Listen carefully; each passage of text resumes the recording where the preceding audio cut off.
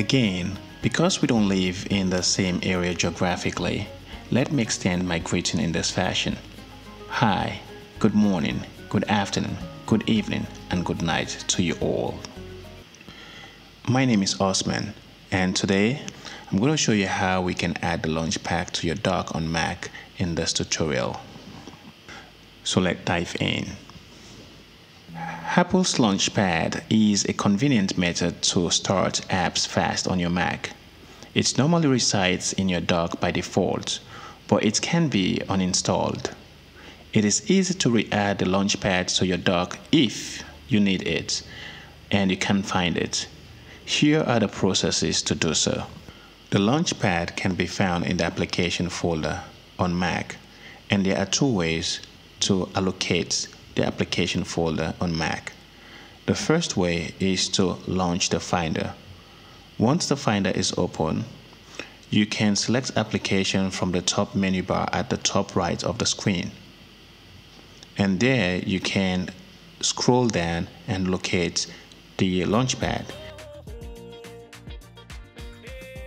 The other way is that we can also use the shortcuts on Mac by pressing Shift plus Command plus A to open the application folder quickly. With the application folders open, locate the Launchpad icon. Click and drag it towards the dock. As you approach the dock, other application will slide to the side and when the Launchpad icon is where you would like it to be, release the mouse or the trackpad button. Launchpad will stay in that spot. That's it for this tutorial.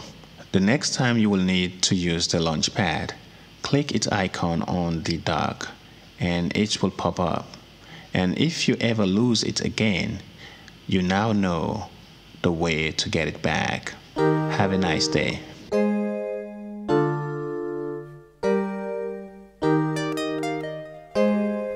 Ah, sabari haja fatumata yo ira sabari tonera de bantayamba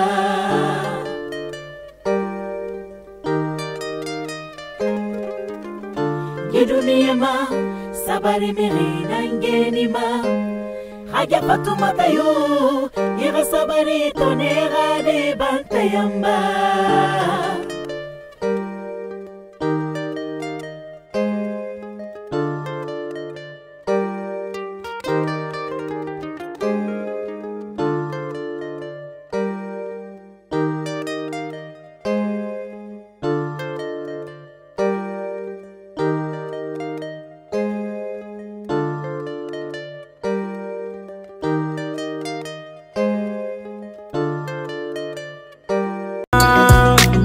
Mama passion ala haya fama Mama